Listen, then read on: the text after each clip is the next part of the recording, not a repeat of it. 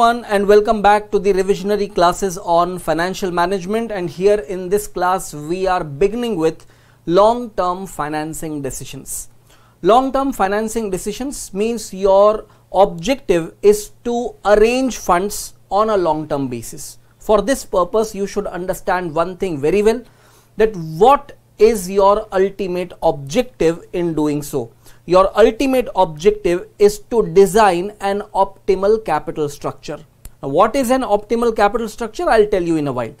But when you are talking about designing a capital structure, what are the various sources of long-term financing? There are typically four different sources of long-term financing. Debt, which includes all long-term borrowings, issuing debentures, issuing bonds on a long-term basis. Then second is preference shares third is equity shares, fourth is retained earnings. Now these are the four different sources of long-term funds and your objective is to design an optimal capital structure. Now what is the meaning of optimal capital structure? Optimal capital structure has been defined in two different ways. Number one, it is such a capital structure which can maximize the rate of return for the equity shareholders Alternatively, it has been defined as an optimal capital structure is such a capital structure which can minimize the overall cost of capital. So either way, you will land up at the same objective. Either you try to minimize your overall cost of capital. The moment you try to do that, the rate of return for the equity shareholders will enhance automatically. So either way, you talk about optimal capital structure you are going to discuss various things within this chapter long term financing decisions. You are going to talk about leverages, you are going to talk about capital structure decisions, you are going to talk about cost of capital, marginal cost of capital, weighted average cost of capital, all these components will come under this heading long term financing decisions. So, we will be splitting the whole discussion into various parts and let us begin our discussion over here with the basic fundamental of long-term financing decisions. Now over here you need to understand what is the meaning of shareholders funds and what is the meaning of capital employed. These terminologies should be very very clear to all of you. Now when I talk about shareholders funds it includes three components preference shares, equity shares and retained earnings. On the other side all types of long term borrowings which are classified as one single heading that is debt. So debt plus shareholders fund will give you total capital employed. In simple words, when I talk about capital employed, it is aggregate of these four components which are sources of long term funds. Now you have understood what are different sources of long term funds. You have also understood what is the ultimate objective that is designing the optimal capital structure.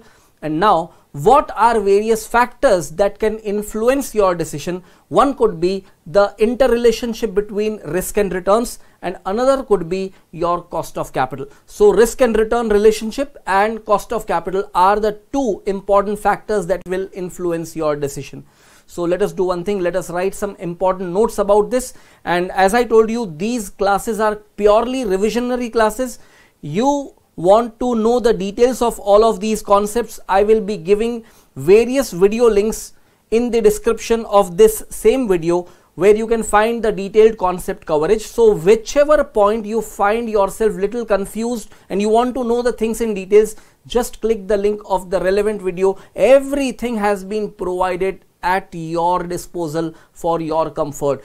Just prepare it well. Now, when I am giving you notes, I may not be giving you sufficient time to note down the same. Wherever you want to write down the notes, please pause the video, write down the notes and then you can resume the video again. So I may keep on instructing you to write the notes, but you know what you have to do eventually. So when you write this heading, you write under this heading long-term financing decisions that there are four different sources of long-term financing. One is debt, one is preference share, one is equity shares and one is retained earnings. The aggregate of the above four factors is known as total capital employed. Total capital employed equals to debt plus shareholders funds. Debt represents all long-term borrowings including debentures and bonds issued by the company. After writing this much, let us move ahead and continue writing further. Shareholders funds it includes three components that is preference shares plus equity shares plus retained earnings. The objective of the company is to design optimal capital structure. In other words, to design best possible mix of four sources of long-term finance. An optimal capital structure is such a capital structure which can maximize the rate of return for equity shareholders or an optimal capital structure is such a capital structure that can minimize the overall cost of capital. Let us now look into how an entity prepares its income statement. So you can begin with sales. From sales you subtract variable cost, you arrive at something known as contribution. From contribution when you subtract cash operating fixed cost. So understand the meaning of cash operating fixed cost. First of all, these are operating fixed cost. When I say operating fixed cost means it does not include interest. Secondly, it is cash operating fixed cost means it does not include any non-cash expense as well.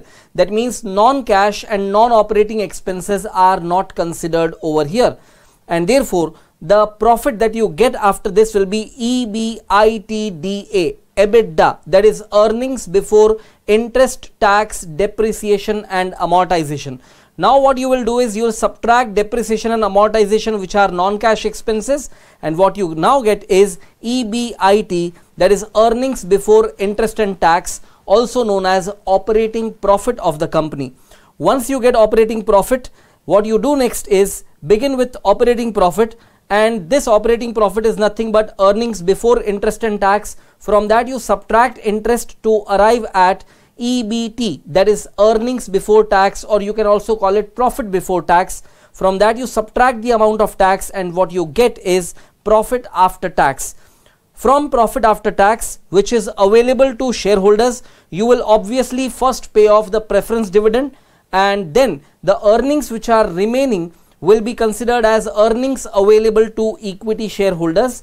Earnings available to equity shareholders in short EATESH these are available only for equity shareholders distribution. Now when these earnings are divided by the number of equity shares what you end up with is earnings per share in short EPS alternatively if you consider earnings available to equity shareholders and from that you subtract equity dividend you will be getting the amount of retained earnings. So let me show you even that and give you some full forms over here. EBIT stands for earnings before interest and tax. EBT stands for earnings before tax. PAT stands for profit after tax. EATESH is earnings available to equity shareholders. EPS is nothing but earnings per share. I told you some time back that when you subtract the equity dividend from earnings available to equity shareholders, what you will end up getting is the amount of retained earnings. Alright friends, let us move ahead and now talk about leverages. Now, when we talk about leverages, let me first draw your attention to business risk. Business risk is classified into two categories. One is operating risk and another is financial risk the risk arising in the basic business operation is considered as operating risk of the business and the risk arising in the business because of borrowings that is known as financial risk. So if you could figure out the entire income statement that we have seen some time back from sales what all we are subtracting? Use your common sense over here. From sales we are first subtracting variable cost. Then we are subtracting fixed cost then we are subtracting component of interest, then we subtract tax and lastly we subtract preference dividend. Now understand one thing, five factors we are subtracting from sales. Whatever you are subtracting from sales is basically your outflow. It is basically your cost or some kind of distribution. Now, you have to look into which component of cost or distribution is creating risk upon you. First component that you subtract from sales was variable cost. Variable cost will never create any risk. Why? Because if there are no sales, there will be no variable cost. If there are less amount of sales achieved, there will be lesser amount of variable cost. So variable cost is a cost that will vary with the volume of sales or with the sales value, but it will have no risk impact because I'm telling you, if you are not having any sales, there will be no variable cost also. On the other side, the nature of fixed cost is what? Whether you make sales or not, fixed cost will be incurred. So fixed cost becomes the first component of risk. This fixed cost, which is excluding interest, will be considered as operational fixed cost and the risk arising because of existence of this operational fixed cost is known as operating risk. Thereafter, the next component is interest. Even interest on debt is a risky element. Why? Because whether you are earning profit or not, it does not matter. You have to pay interest. But after subtracting interest, when you arrive at EBT, that is earnings before tax, tax will be subtracted after that. But tax will arise only when you earn profit, correct? No profit means no tax. That means tax cannot become a risky element. After tax, you will subtract the next and last component as preference dividend. When you are subtracting preference dividend to arrive at equity shareholders earnings, Preference dividend is not a fixed charge, but it is a distribution of profit. If profit is not there, no distribution will happen. As a result, there are only two elements of outflows which are going to create risk. One is the operating fixed cost, which creates operating risk upon the business and another is the interest cost which will create financial risk. So what is the cause of operating risk in any business? Existence of fixed cost. And what is the cause of financial risk in any business? It is basically the financial leverage that means borrowing of funds becomes the risky element. Borrowings of funds creates financial risk because it puts a burden of interest upon the entity. Then whether the entity is earning profit or not, it will have to pay that much amount of interest what it has committed. So let us do one thing. Let us write some notes over here and then we shall move ahead. So based on what we have just discussed, you may write under the heading leverages. Business risk can be classified into following that is operating risk and financial risk. Operating risk arises because of existence of fixed operating cost whereas financial risk arises because of existence of debt in the capital structure. In other words, financial risk arises because of existence of interest cost. Moving ahead, we would say Operating risk is measured by a ratio called degree of operating leverage that is DOL. It is measured by taking contribution divided by EBIT. Higher the degree of operating leverage, higher will be the operating risk. Financial risk is measured by a ratio called degree of financial leverage that is DFL. So DFL is basically EBIT divided by EBT.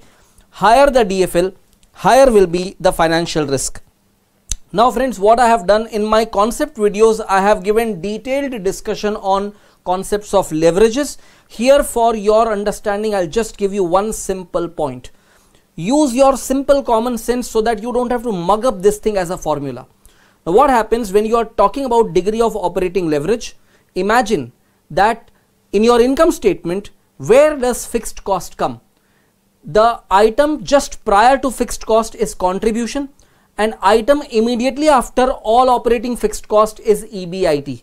So, if you consider fixed cost as one of the item of risk, item prior to that is contribution and item after that is EBIT. So, when you take the ratio of contribution and EBIT, it will give you degree of operating leverage.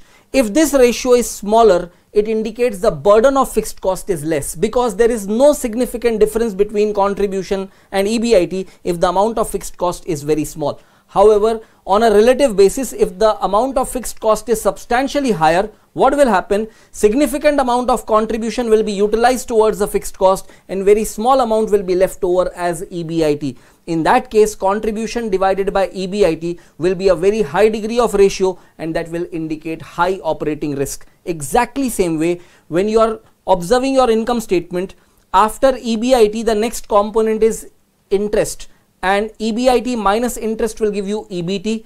So, when you find that interest is creating that risk, item prior to that is EBIT and item after that is EBT. So EBIT divided by EBT will give you degree of financial leverage and higher the degree of financial leverage, higher will be the financial risk in the business. So let us move ahead and continue writing further.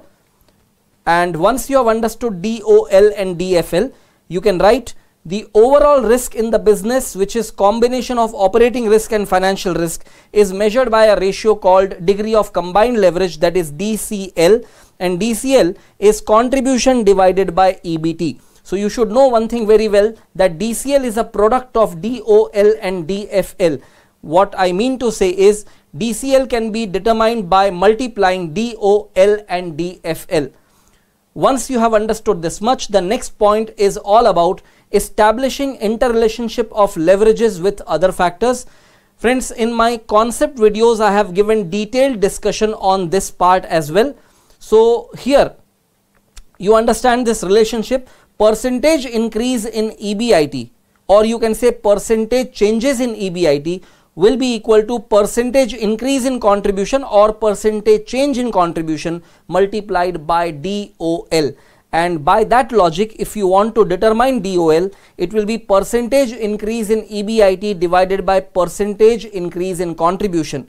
So here the word increase has been considered assuming that from one level to the other level the amount of contribution and EBIT are increasing. If there is a decrease still the same phenomena will apply. Similarly percentage increase in EBT equals to percentage increase in EBIT multiplied by DFL and through this if you want to determine DFL it will be percentage increase in EBT divided by percentage increase in EBIT. Similarly, percentage increase in EBT can also be worked out as percentage increase in contribution multiplied by degree of combined leverage that is DCL and through this if you want to determine the value of DCL it will be percentage increase in EBT divided by percentage increase in contribution. I am telling you again the interrelationship logical if you want to understand in details please watch my concept video in relation to the same point.